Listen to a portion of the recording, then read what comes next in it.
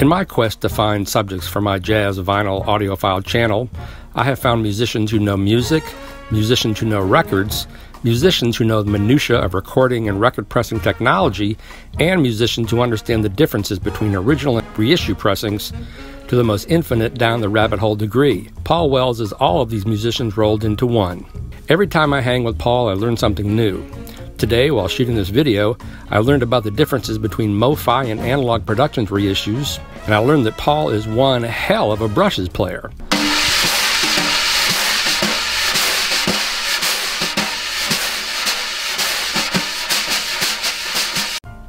A native of Pittsburgh, PA, Paul is a graduate of William Paterson University and has drummed with some of the finest musicians in the city, including Curtis Stigers and Vince Giordano's Nighthawks, of whom Paul is a member of both of their bands.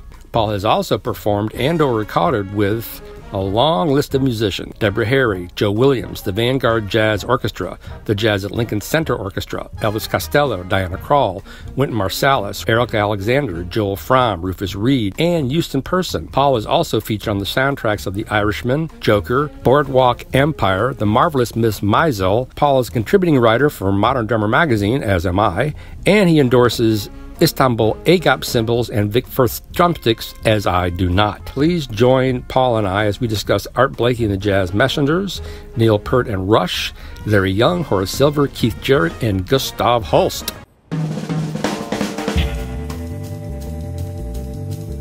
Uh, I wanted to start with this record. This is um, an Art Blakey and the Jazz Messengers record on Columbia. Now, um, Art Blakey is best known for recording on Blue Note, but um, he did a few records um, actually around the same time he was starting out on Blue Note, around 56, 57 on Columbia as well.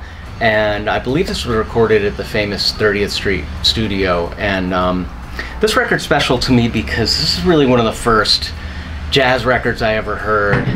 One of the first things I really listened to closely and, and was really influenced by. This was actually, this exact copy was uh, my dad's copy, and I kind of pilfered it from him. It's a really great record. It's a great band Donald Byrd, Hank Mobley, Horace Silver, Doug Watkins, and Art Blakey.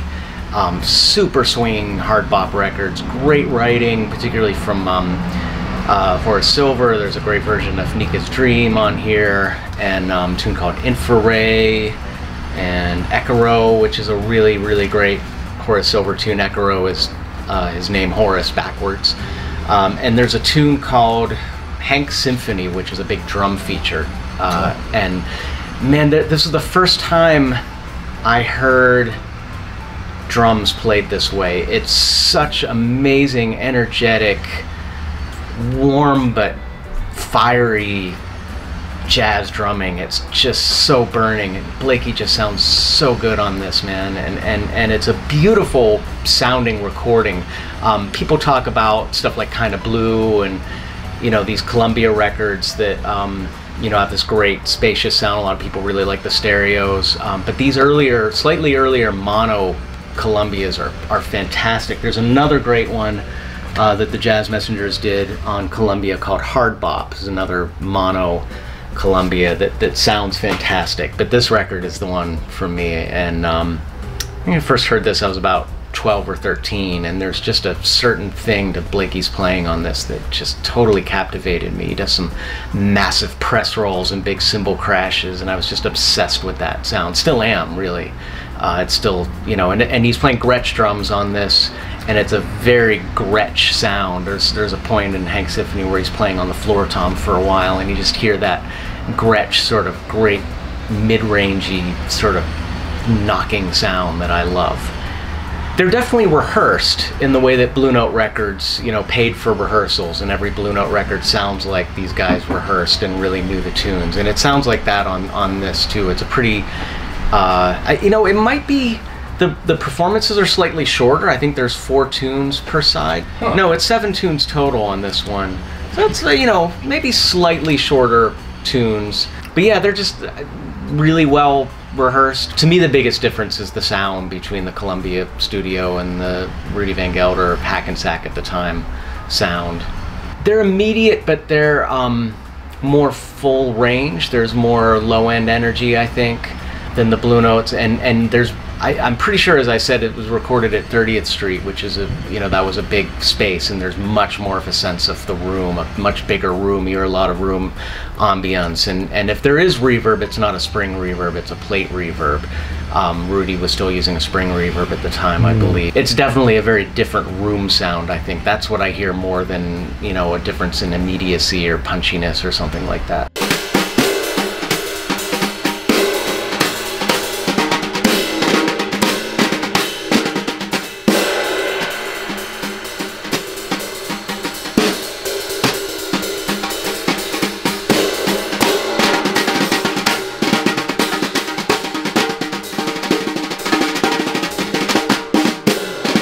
So I wanted to include something too that featured a drummer named Roger Humphries. So I uh, grew up in Pittsburgh, and Roger is a drummer uh, from Pittsburgh who never really left. He still lives in Pittsburgh and um, played in Horace Silver's band from 1964 until 1966. Recorded three Blue Note records with Horace. He recorded um, "Song for My Father."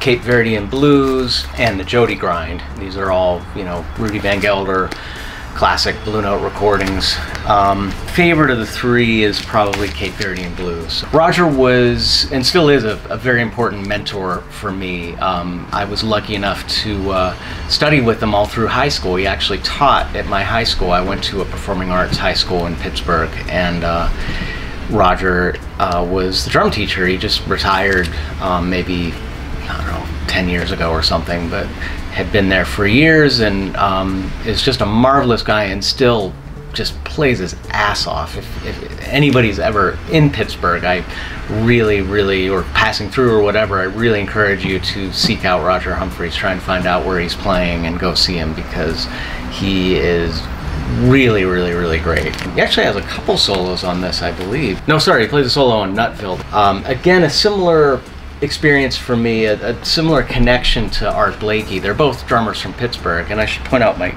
my T-shirt is a, a Pittsburgh drummer T-shirt. Um, Art Blakey, Klook, which is Kenny Clarke's nickname, Joe Harris, who's a great bebop drummer, and Roger Humphries, all Pittsburgh drummers. But I remember when I first heard him, I, right before I started high school, I went to see him for the first time, knowing I was about to start studying with him. And I went to an outdoor concert he was playing in Pittsburgh. And I had already heard that Art Blakey record, the Art Blakey and the Jazz Messengers on Columbia record, and was, you know, in love with that sound and that feeling. And I remember immediately recognizing when I heard Roger for the first time oh my god, there's a guy here in Pittsburgh who plays like that, who has that same sort of quality in his playing, that same swing and that sound and that hard bop sort of energy and aesthetic. And it, it was completely floored by the fact that I could just go see this guy whenever I wanted and hang out with him and study with him and, and um, you know, again, he's still he's a direct connection to this amazing music and this lineage, and, and it's amazing to have him around. Well, this band in particular was was fantastic. Joe Henderson was in this uh, band. He's on "Song for My Father" and Cape Verdean Blues. Woody Shaw is on Cape Verdean Blues and also on the Jody Grind, and um, particularly good front line. Um, Horace's writing is always fantastic. It's consistently great on every Horace Silver record.